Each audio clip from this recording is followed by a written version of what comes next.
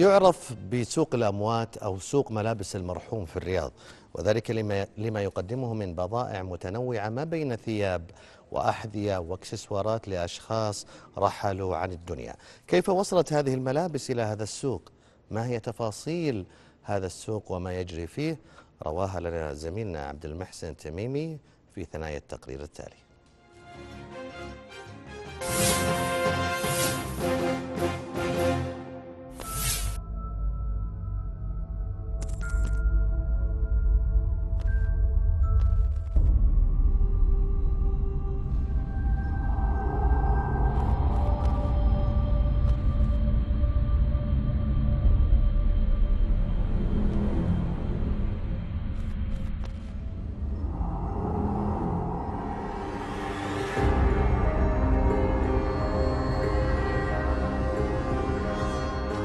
من هنا وبين هذه الممرات.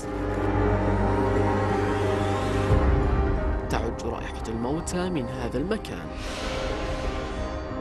سوق الجنادرية أو كما يطلق عليه سوق الأموات سوق الأموات.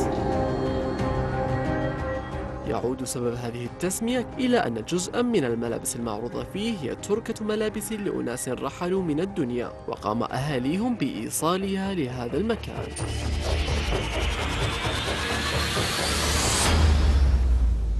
في هذا السوق تباع ملابس الموتى لتعود إليها الحياة بارتدائها من قبل أناس آخرين. ماركات عالمية وأزياء مختلفة. بات سعرها لا يتجاوز بضعة ريالات.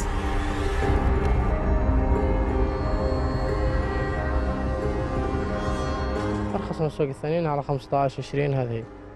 وثياب جاهزة يعني. تجي تاخذ جاهز وتمشي على طول.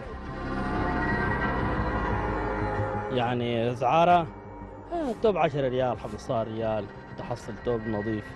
شماخ ثياب ملابس داخلية. سراويل. يحب يترزقون يجيبوها من من المغاسل يجيبوها من الغسالين باقي اموات ناس جماعة سافروا تركوا ملابسهم يجيبوها على الدكاكين يبيعوها.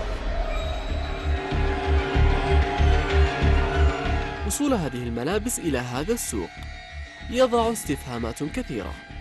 فالبعض هنا يقولون بأن هذه الملابس تأتي من مغاسل الموتى. وشفت قبل كذا مغاسل آه، سيارة سيارة آه، موتى نزلت هنا آه، آه، ملابس. دائما تجي تشتري من هنا؟ يعني على تقريبا أكثر أوقات من هنا. في عندك سراويل فنايل شموغ هذه بس لا أنا ناخذ ثياب بس.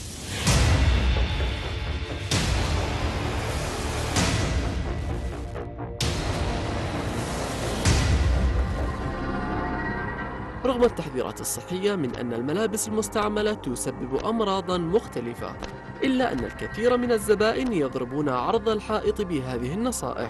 مكتفين بالقول إن غسلها كفيل بإبعاد شبح الأمراض عن أجسادهم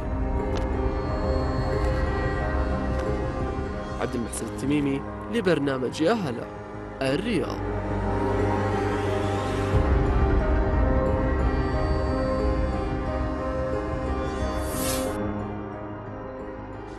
الله يرحم جميع موتى المسلمين للحديث أكثر عن هذا الموضوع عن هذا السوق. آه، يلتحق بنا هاتفيا الأستاذ المساعد بكلية الطب بجامعة الملك الإمام محمد بن سعود الإسلامية الدكتورة سلمى البرقاوي. دكتورة مساك الله بالخير. آه، حياك الله. يمكن عرضنا عرضنا التقرير يمكن في أكثر من جهة المفروض يعلقون على هذا ال- ال- السوق ومدى نظاميته وتواجده وكيف تأتي هذه الملابس ملابس الموتى إليه. أمور كثيرة وهذه أوجهها للأمانة أمانة الرياض. من المفترض أن يكون لها دور في هذا الملف. لكن خليني أتكلم فيما يتعلق بالشأن الصحي.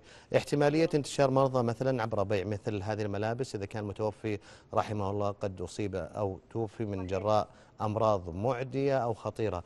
كيف تشوفين هال هال هالجزئية؟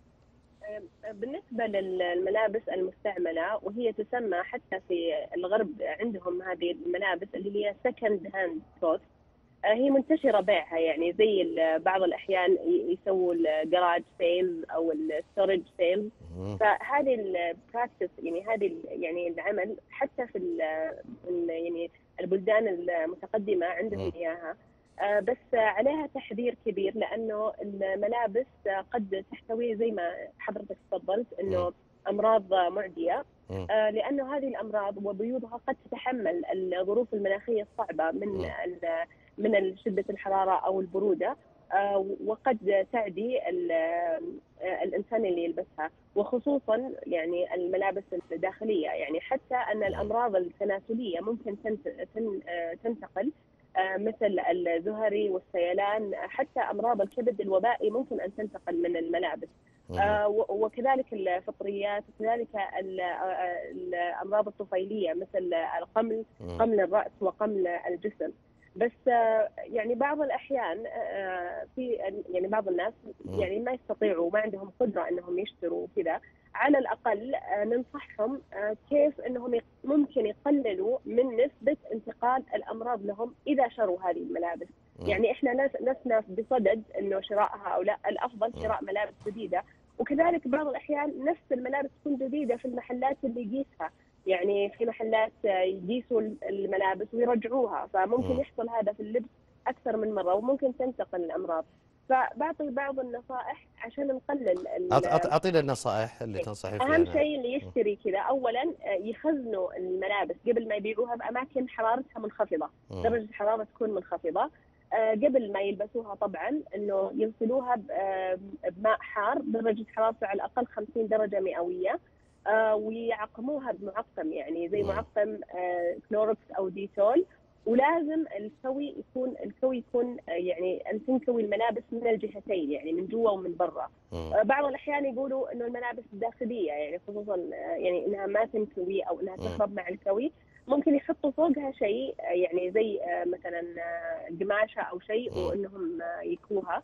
فهذا على الأقل يقلل نسبة ال- انتقال. الأمراض من جميل. هذه الناحية. جميل شكرا شكرا لك دكتورة سلمى البرقاوي الاستاذ المساعد بكلية الطب بجامعة الإمام محمد بن سعود الإسلامية ومنا إلى أمانة الرياض هل زرتم هذا السوق؟ هل راقبتموه؟ هل تعرفون وش يباع في هذا السوق أو من أين تأتي هذه الملابس؟ سؤال أتمنى يكون هناك إجابة من من الأمانة أو أمانة آه، الرياض. فاصل قصير وبعد الفاصل نرجع لكم.